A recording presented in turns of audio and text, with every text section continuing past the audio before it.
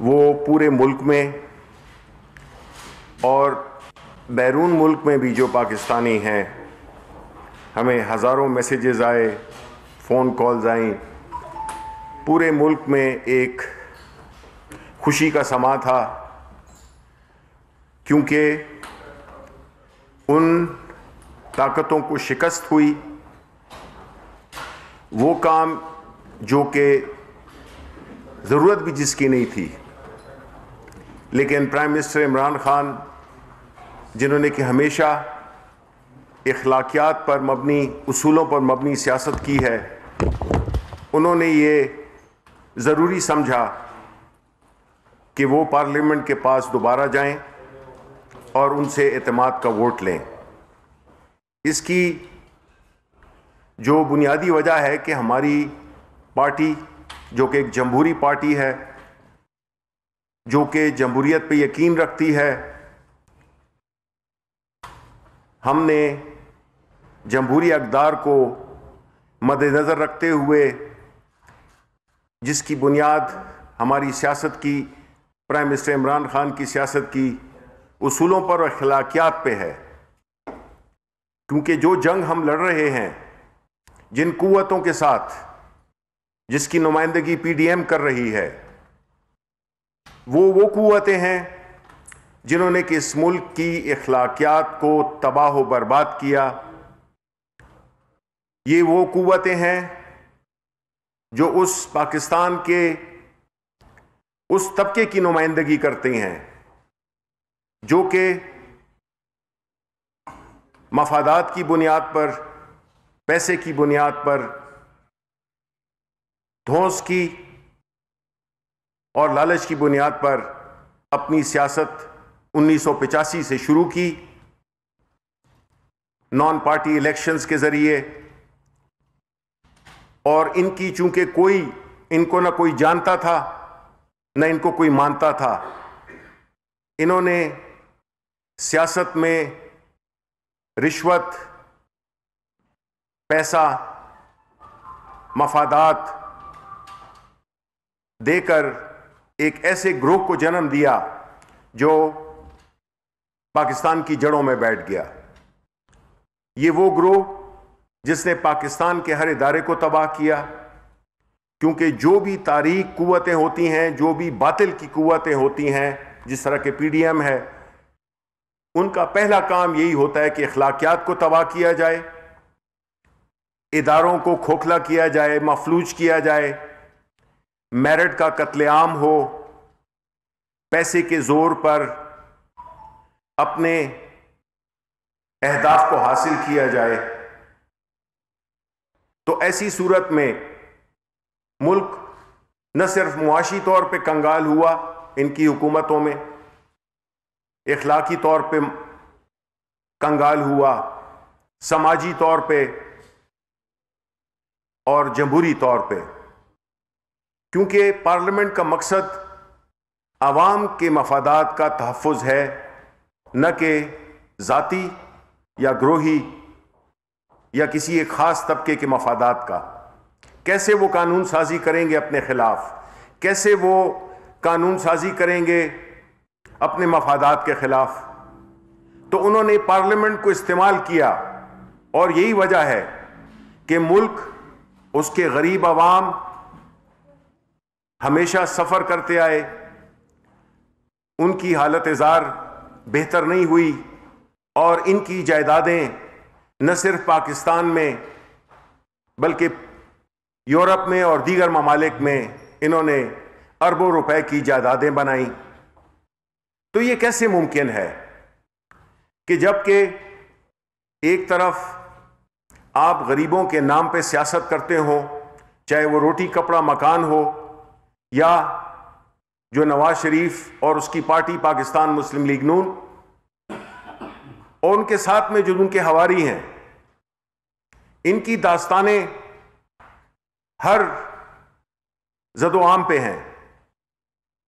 इनकी करप्शन की दास्तानें, इनका मोटरसाइकिल पे आना और अब लैंड क्रूजर्स में और यूरोप में जायदादें बनाना इसी बात की तस्दीक है कि सियासत को इस्तेमाल किया गया कारोबार के लिए। सियासत बराए कारोबार। खिदमत की सियासत नहीं, कारोबार के लिए सियासत में ये आए और फिर साथ उन्हीं लोगों को ले आए, जो कि इसी सोच और इसी तर्ज अमल से इस मुल्क में इस जमहूरी निज़ाम को इस्तेमाल करते हुए लोगों को वोट, लोगों के वोट लेकर और अपनी ज़ाती मफादात उठाए। जबकि दूसरी तरफ़ पाकिस्तान तहरीक इंसाफ, जो कि उन्नीस सौ सतानवे के इलेक्शन में कोई सीट नहीं हासिल कर चुकी थी, उन 2002 में prime minister Imran Khan elect हुए एक सीट थी। 2008 के इलेक्शंस को हमने बायकॉट किया। 2013 में खैबर पख्तूनख्वा में हुकूमत आई। चौंतीस या पैंतीस मेंबरान हमारे नेशनल असेंबली में आए और खैबर पुख्तनख्वा से छः सेनेटर्स मुंतखब हुए जिसमें मैं एक, एक मैं भी था। जबकि दूसरी तरफ़ 2018 में इलेक्शन हुए और हमारी हुकूमत आ गई। आज 2021 में पाकिस्तान तहरीक इंसाफ, अल्हम्दुलिल्लाह, नेशनल असेंबली में भी बड़ी पार्टी सबसे, सेनेट में भी सबसे बड़ी पार्टी बनकर उभरी है। इसकी बुनियादी वजह क्या है? क्यों ये ऐसे हुआ? अगर आप देखें तो जिस तरह से पाकिस्तान तहरीक इंसाफ ने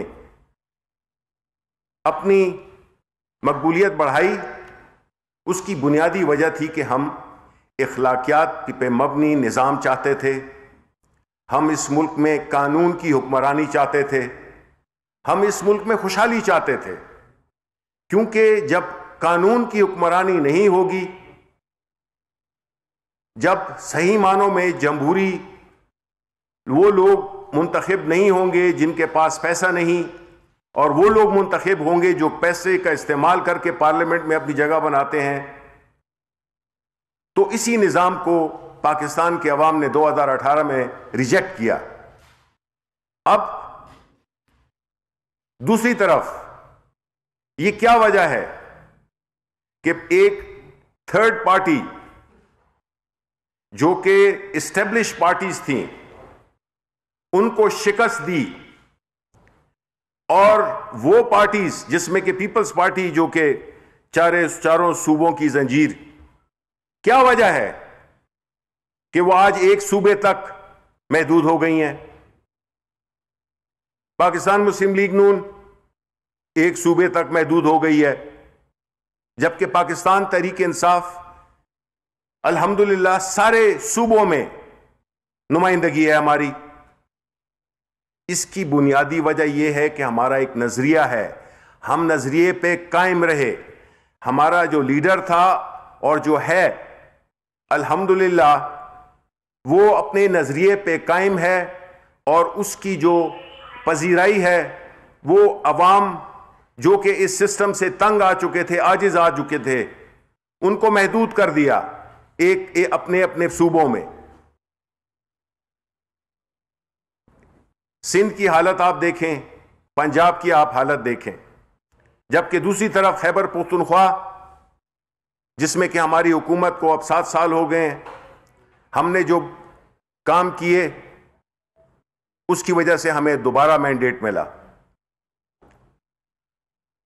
और अब अगर आपको याद हो तो 2000 सॉरी 17 फरवरी को जमातों ने अपोजिशन जमातों ने पीडीएम ने इलेक्शन कमीशन के सामने मुजाहरा किया। एक तरफ़ वो मुजाहरा करते हैं जब वो हारते हैं और दूसरी तरफ़ जब कोई दूसरा जीता है तो धांधली हुई है। ये जो इनके मफादात और जो इनकी जो आ, वो होता है इनके नैरेटिव्स इनका बयानिया वो तब्दील होता रहता है।